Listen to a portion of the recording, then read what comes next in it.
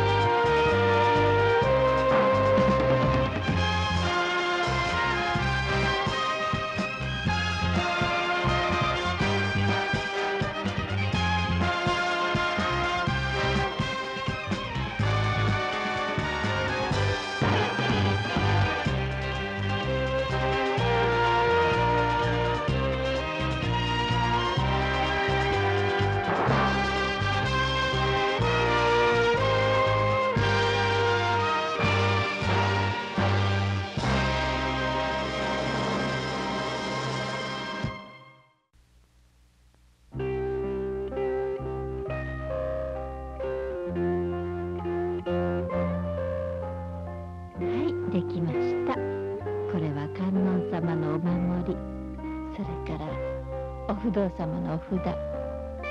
そして父源三郎母重野と書き添えた坊やの保存のお書き何より大事なそなたの名はそのうち父上が良い名を選んで知らせてくださる場所しばらく待っていておくれ。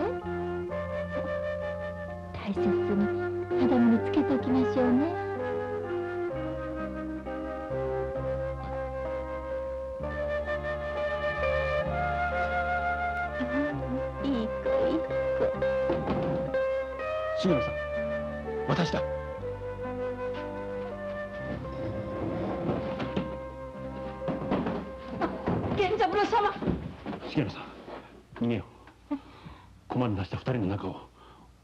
どうしてもお許しくださらんこうなればお役さんにどこになると落ち延びるしかあるまい。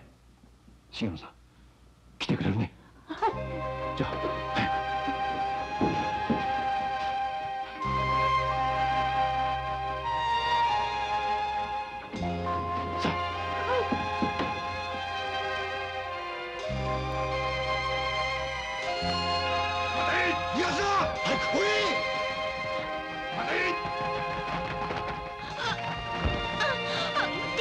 源三郎様。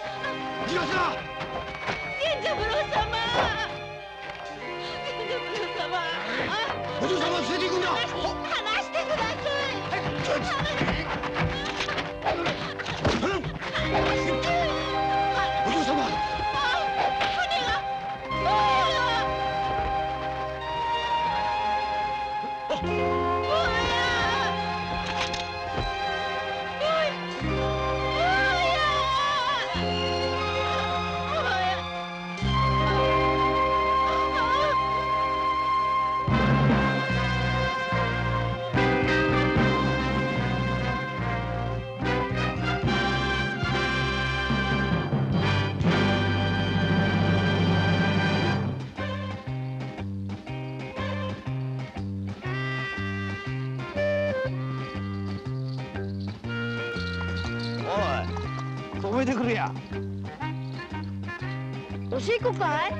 じゃねえよ。江戸への戻り馬だって言うからよ無理して乗ってくれって頼まれたから俺は乗ったんだよ。バカだお前ちっちゃいお前が引っ張ってでっけえ俺がこの上でふんずり返ったらお前様んなねえだろお前。かっこつかねえだろあ次に三州刈谷藩土池と下総関宿藩久世家との間に縁談相整いましたる旨届け出がござりました。ほうそれはめでたい。だが両家にそんな大きなせがれや娘がおったかな？いえそれが花婿は11片や花嫁は8つでござる。何？八つの花嫁だと？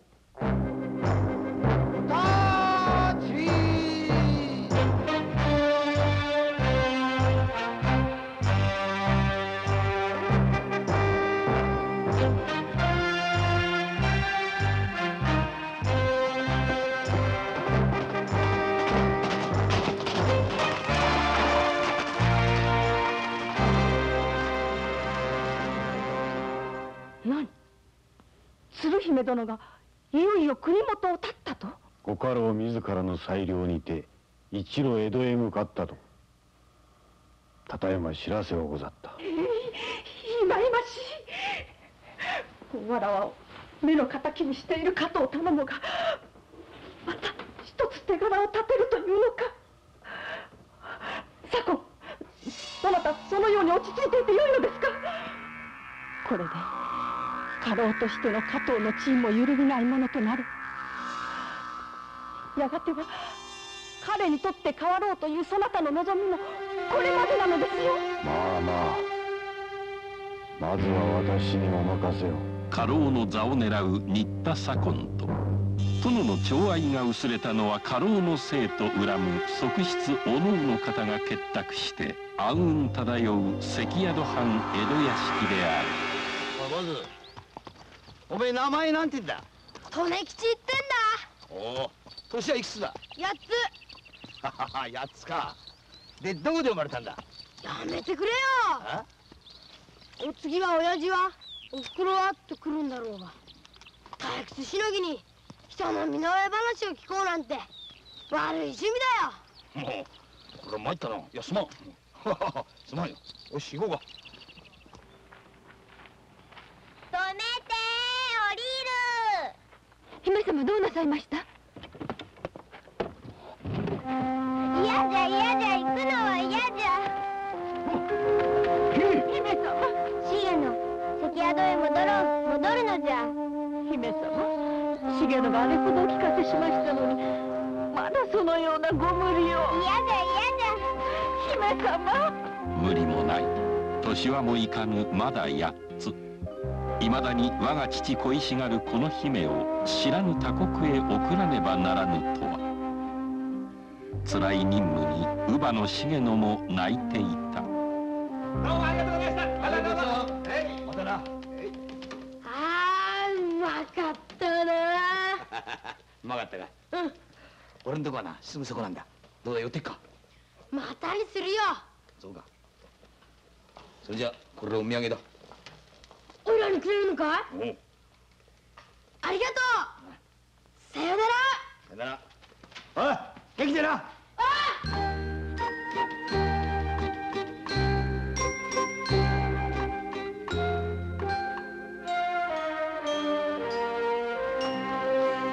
カ。いい加減にしないとお兄ちゃんにしつけてやるから。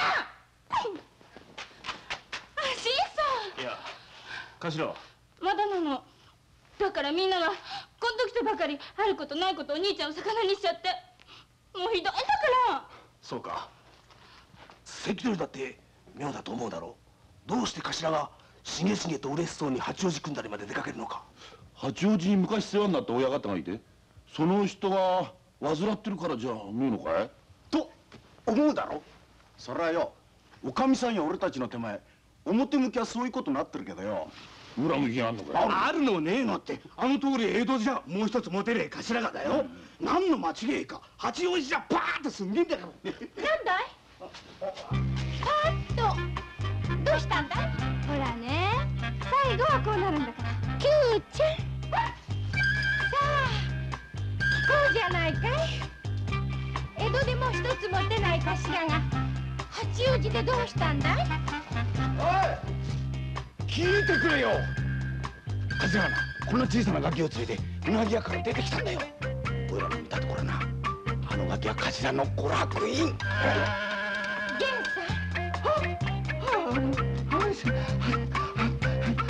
いらしたん。ですかいらして悪かったわねいらして結構ですご楽院おう今からだぞ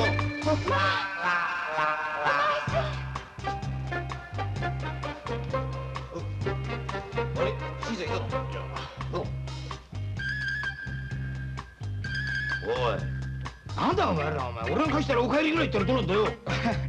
ただいま取り込み中でして。おい何してんだお前ら。お前さんお子さんはどうなさいましたの？お子さん？うなぎをお食べさせになったんでしょ？あれかいあれがお前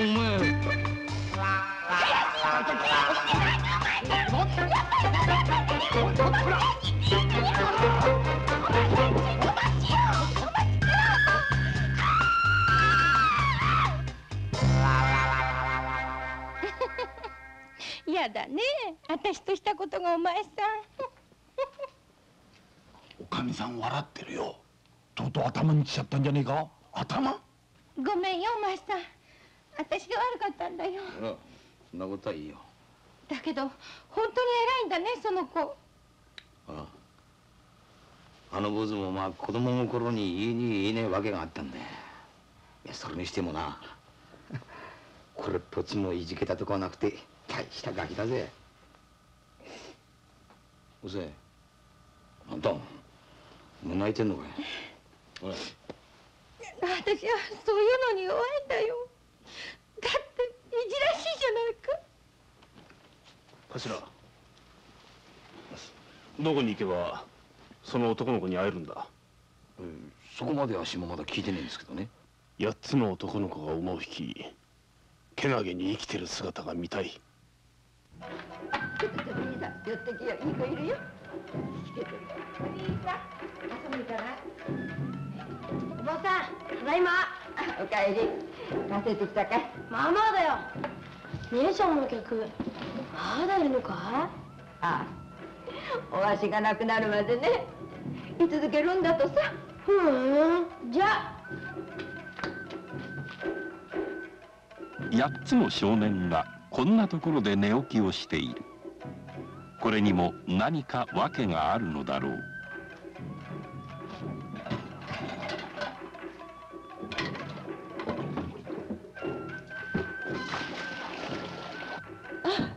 トネちゃんじゃないか。あ姉ちゃんただいま。いつの間に帰ってたの？たった今だよ。ご飯作ってあるだろ？うんありがとう。あそうだ。おいらもごちそうを持って帰ったから後でおいでよ。へえなんだろう？うなぎ。こんなお串お客が買ってくれたんだ。ああそれはよかったじゃないか。姉ちゃんはいいからさトネちゃんと半と曲がりよ。うんうん。姉ちゃんと一緒でなきゃ美味しくないよ。じゃあ後でね。うん待ってるよ。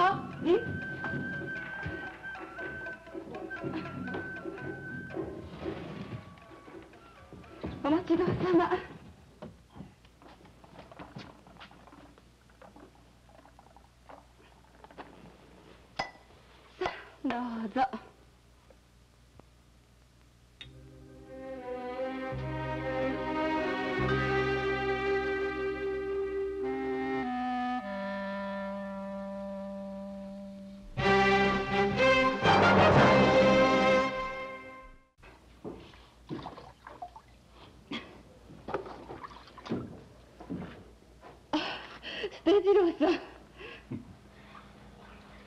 眺めだぜ。え？そうしてるところはまるで堅気のかみさんだ。つくづくこんな場所に置いときたくねえや。捨て次郎さんもいつまでもこんなところにいてはいけないわ。小時この辺にどっかいい博打はねえかい？博打やろっていうの？歌の文句じゃねえが人よ止まりがまた人よ。いよいよおめえと別れたくなくなってきやがった。ところが財布の底も突き出してきたんだな。いけないわそんなこと。じゃあおめえは俺と別れて何ともねえのかい？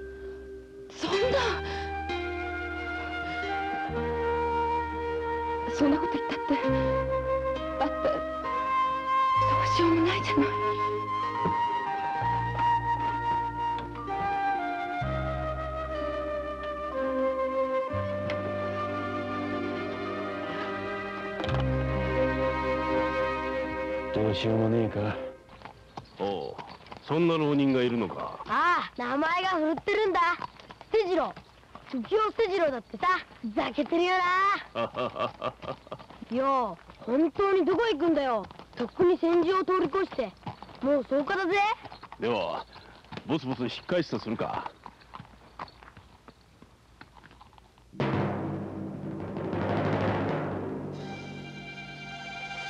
ようどうしたんだよ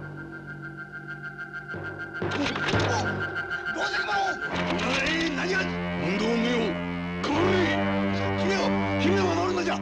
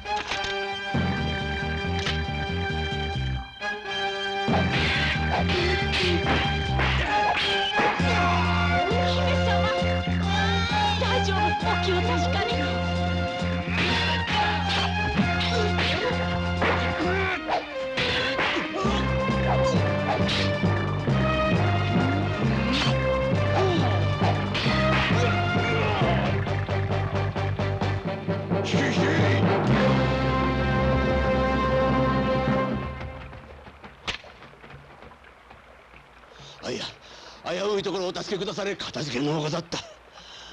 各申すは下総関宿藩にて家老職を務めまする加藤頼む。してご貴殿は私は貧乏旗本の三男坊で徳田新之助。では道中くれぐれもお大事に。は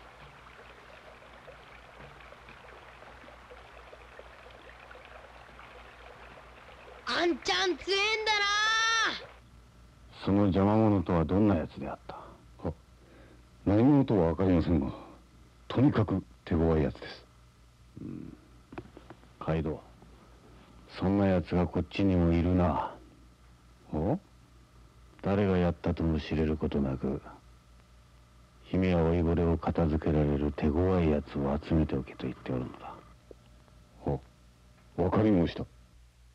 そやつら浪人者でございましたかいや浪人ではなかったな。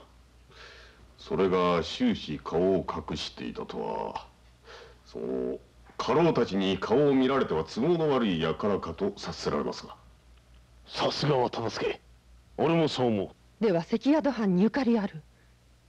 もしかすればその藩士では。さあその辺のところ半蔵お園分かっておるな。はい。心得ました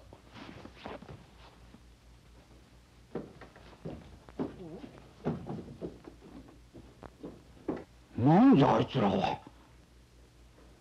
はは。またお道楽が始まりましたな。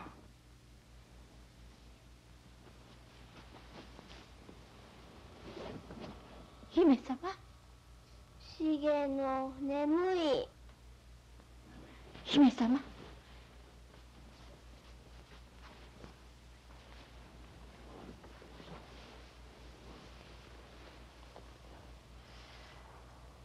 鶴姫様には道中つつがなくご到着あそばし強越至極に存じまする。今宵わらわが心ばかりお祝いの宴を催させていただきますほどに。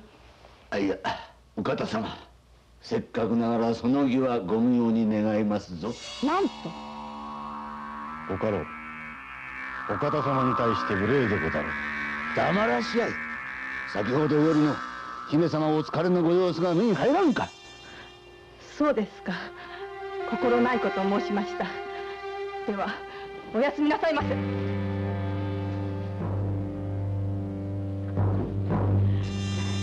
えい酒を持ちゃ。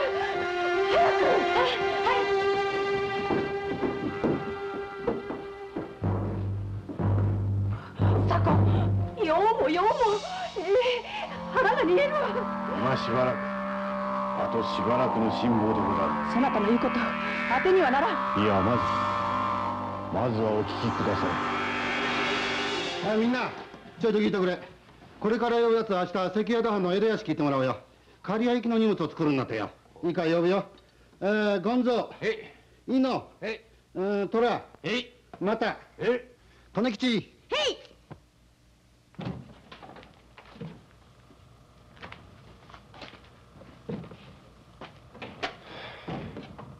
蝶とありゃなんか ついてねえ。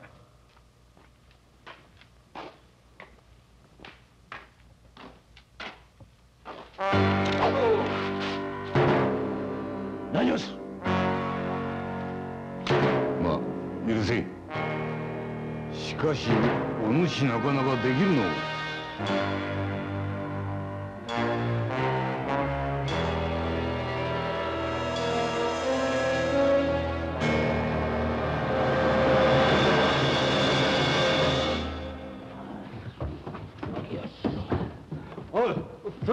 そろそろ飯にしろで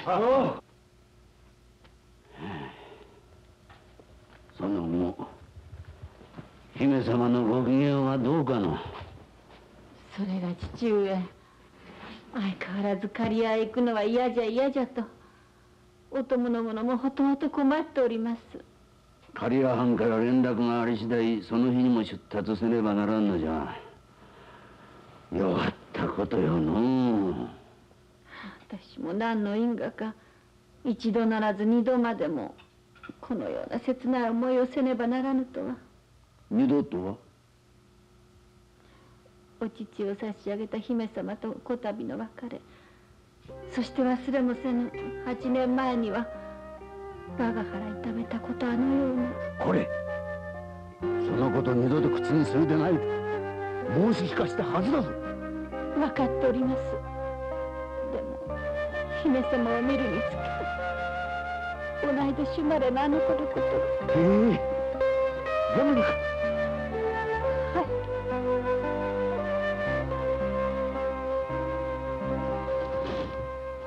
お帰りなさい。はい。い。い。から続けなあじゃあもうちょっとね釘のい。い。ところまで裏の利根棒に着せるのか？ええ。そろそろ衣替えの季節だから。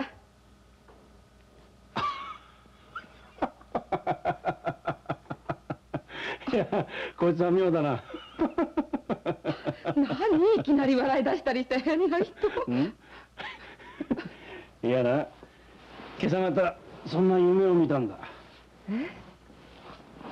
俺とお前と利根坊と三人でどっかの裏棚で暮らしてるんだ。でお前に言うセリフがそろそろ衣替えだからあの子に一枚買ってやってと。こうなんだよ。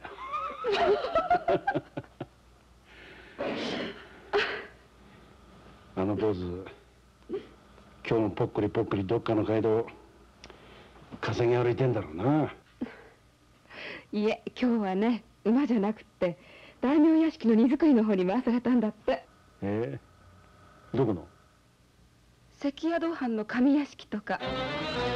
関宿藩？どうかしたの？いやいやそんな藩があったかなと思ってさ。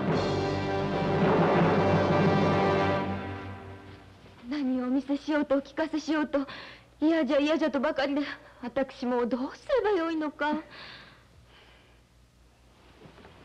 姫様。よ見てる嫌だまだ何も申しておりません嫌だ長いひゃくりげとくらおいおい早く左右振らねえか待った待った生徒やことを存じるとねええ目障りなすぐやめさせましょう若菜やめさせるには及びませんでもあれを見てごらん何も聞きとうない何も見とうないと言っていたお姫様があれあのように。花の都の真ん中に。思い思いの印を置いて大津石場の草枕とくら姫様面白ございますか？うん。もっと近くで見るのじゃ行ってもよいか？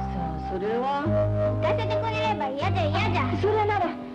あの子をここに呼びましょう。それならいいでしょ？うん。はい。呼んでまいります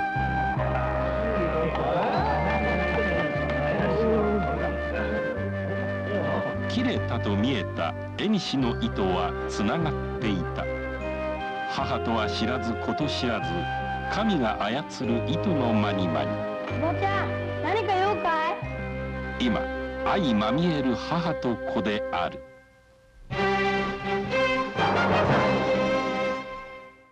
などっちが早く花の江戸へ着くか。ただし途中休みや学戻りがあるけどな。そういうところが面白いんだよ。わかるかい？まああんまり分かったような面じゃねえがやってるうちにはわかるだろ。うじゃあ始めようか。うん。よし。これこれご老中多三世。これこそ五十三次を。どうもうまくいかねえな。どうしました？まずいんだよ。そこでそう立ちこばられちゃ子供は子供同士。二人きりにしといてくんねえかな。なあお前もそう思うだろ？無礼者姫様に向かってお前とは気に食わねえか。誰も来たくて来たんじゃねえぜ。やめた。嫌じゃ嫌じゃ。こっちが嫌なんだよ。えなんということ。を若菜私たちが下がっていますからね。そんな。良いのです。さ。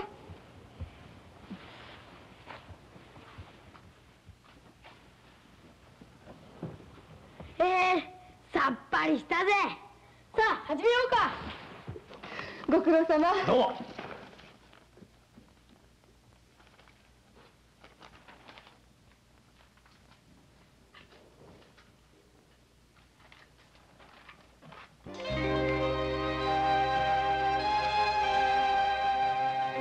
何を知らせて。おばさん私ひょっとしたらくら替えしなきゃならないかも何だって？どういうことなんだよそりゃ。栗のお父っつぁんがひどい目に遭ってるの。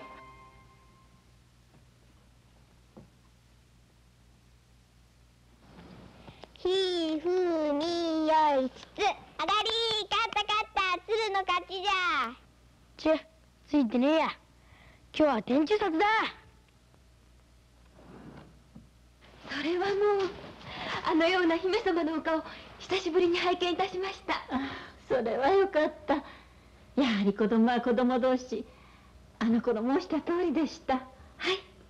重野その利根吉とば申す小せがれ刈谷へ連れて行けんかの道中姫様のお相手をしてくれると助かるのだがのそれは良いご思案ですがさて当人が何と申しますか？ごめん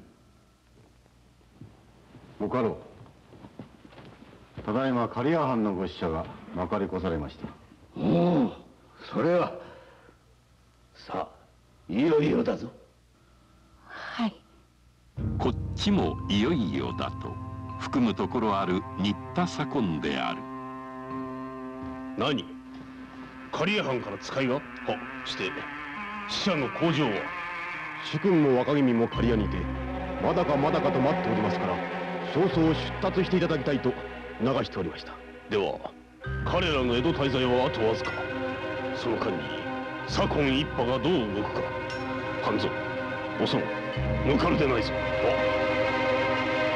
あご褒美を信ぜましょう。わあうまそうだな。な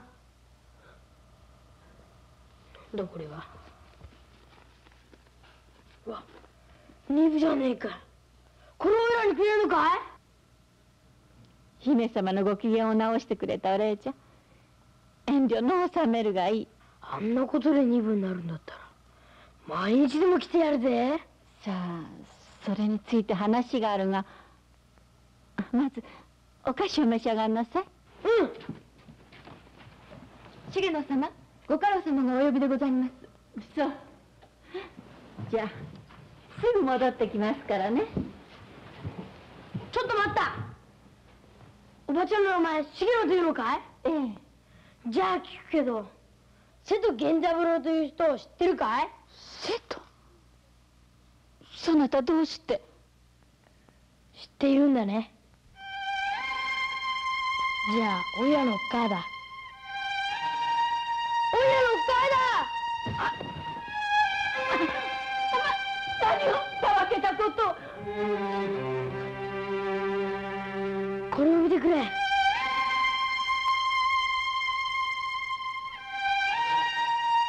このお守り袋覚えてねえか？これでもたわけたことかよ。それは。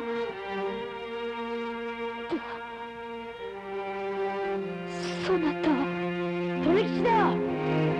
いや利根吉っていうのは利根川を流れていく俺のことをかわいそうだと言って拾って育ててくれた姉ちゃんがつけてくれた名前だ。おっか。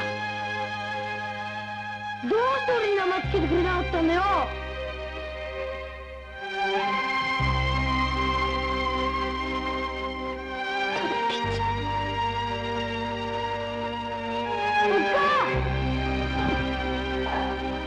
まあよく無事で大きくなってくれました。同じ大きくなるのならこの時に育ててくれた人に愛しまるねどうして武士の子らしゅうまともに育ってくれなんて無理だい。俺だって中手やりたくてやったんじゃないよ。許してくれ姫野父上この子は。ええ聞かんその者の即刻放り出せ。そんな無慈悲な。死ぬあの折不義者としてご成敗ともなるところをお許しあったばかりか。姫様の目元として取り上げられたご恩を忘れたか。明日にも刈谷に赴かれる姫様が実はこのようなものと父を分け合った仲と分かればどうなると思う。わしやお前が腹を切ったぐらいで済むことではないぞ。分かったよ。帰ってやるメロトだかなんだか知らねえが実の我が子を売っちゃってよそのガキに父を飲ましてる世話ねえわ。くそそんな吉上やめろ。姉ちゃんにもらった大事な名前だ。気安く呼ぶんじゃねえや。えー、こんなもんいらねえやそれ吉もう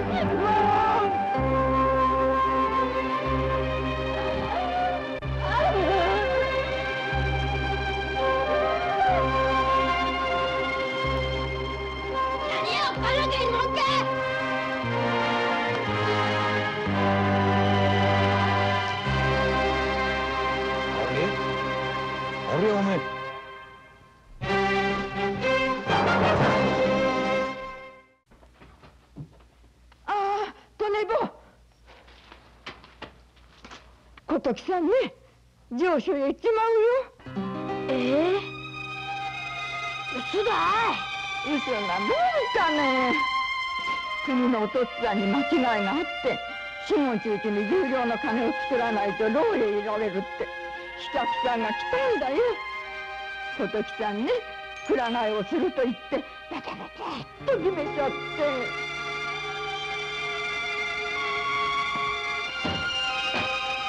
飲んどくれね今夜はさよっぴて飲もうよ。ねどうも妙だぞ。お前何かあったんじゃないのか？何もありゃしないよ。姉ちゃん本当かい？本当に上司へ行っちまうのかい？小時。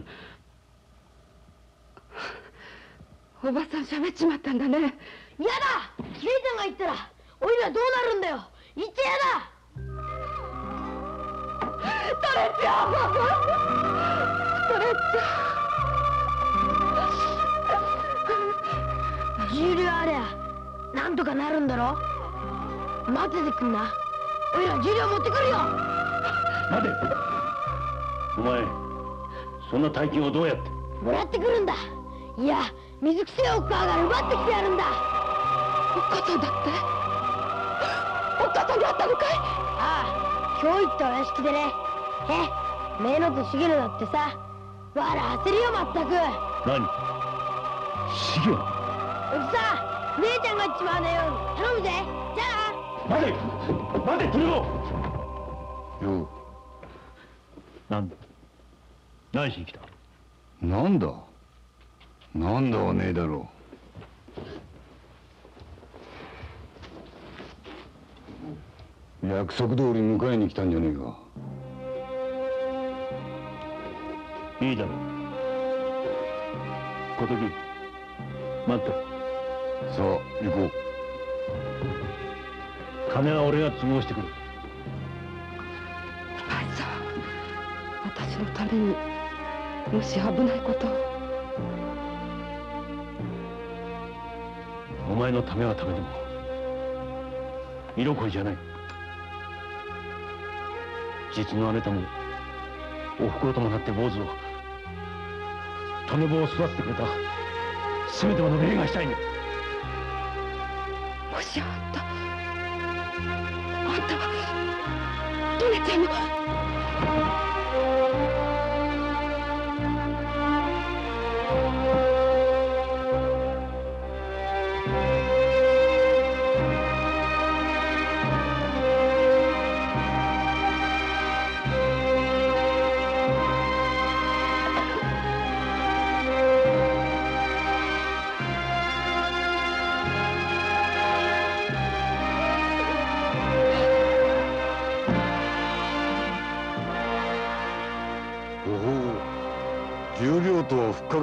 ではないか。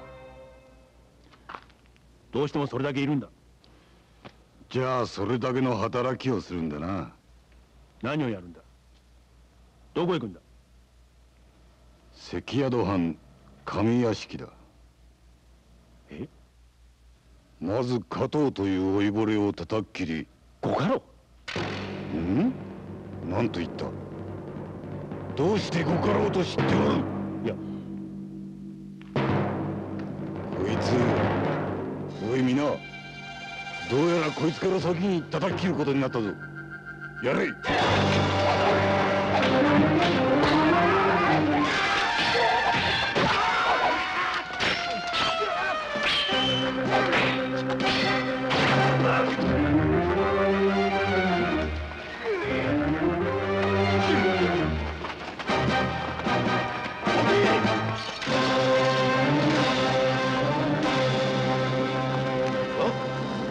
新さん。頭どうしてここへ？いやあのね例のあの留吉に会いましてねで様子がおかしいもんでずっとつけてきたんですよ。ところが見失っちまったんですよ。利根吉は関谷藩の上屋敷。何？あれはあれは私のせがれだ頼む。おいしっかりしろ。おい。ああ三つじゃ三つじゃ。おおお楽しみですな。左近断りもなく無礼であろいやもう一人仲間をと思いましてな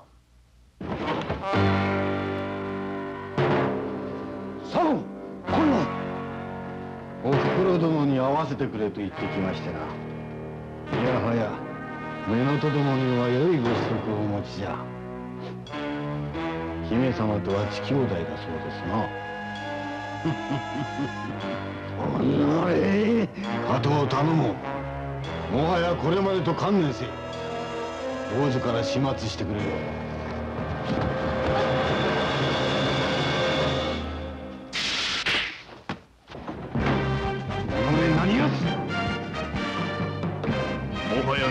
や名乗って口にするのも汚らわしい。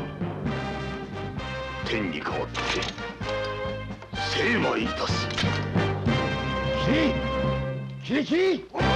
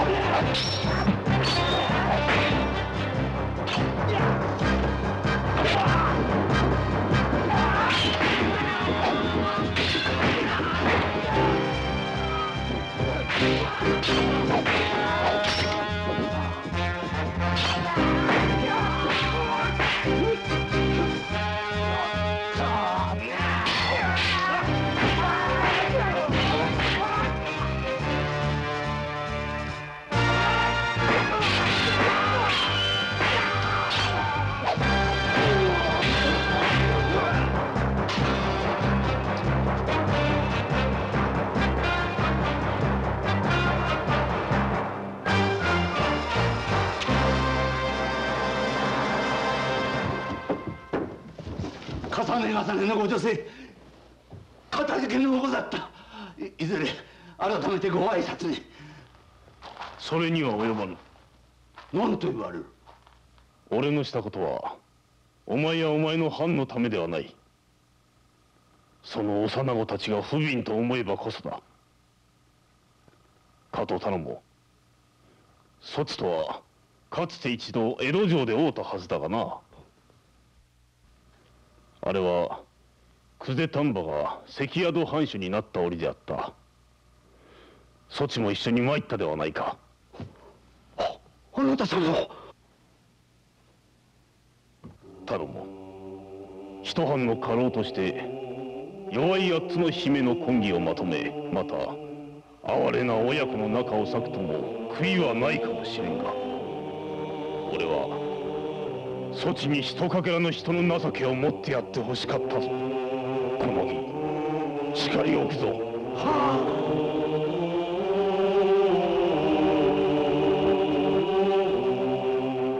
富吉さあ行こ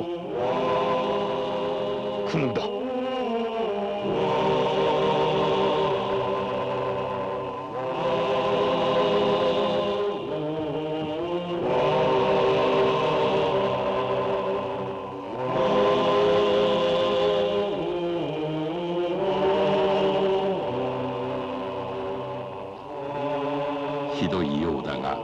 今となっては所詮は共にいられない母と子なればと。心を鬼とし心で泣いて利根吉を連れ行く吉宗であった。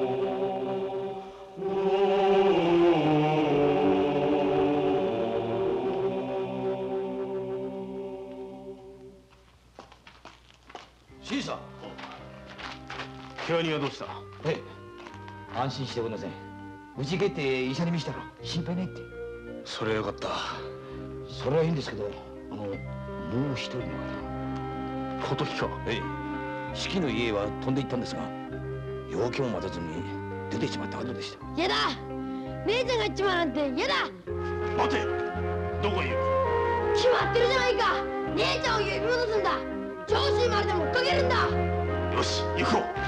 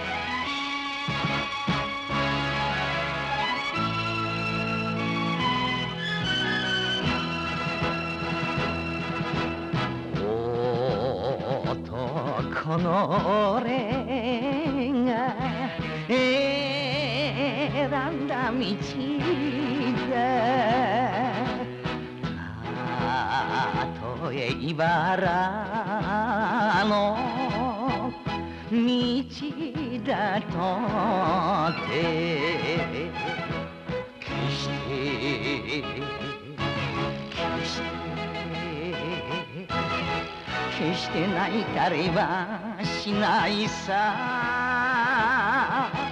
負けてたまるかぐっと睨むこの目に血がたぎる。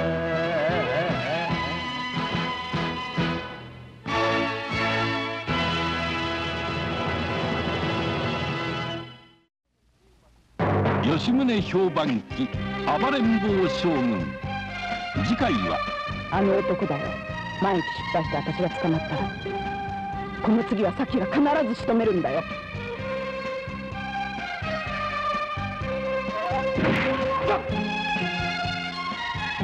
この者の処刑一両日延期願いたい。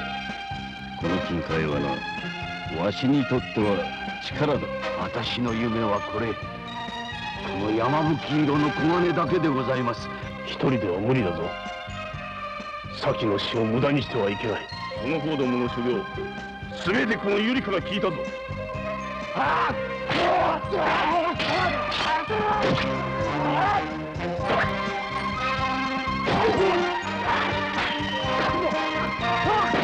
次回「狼の里から来た娘」どうぞご期待ください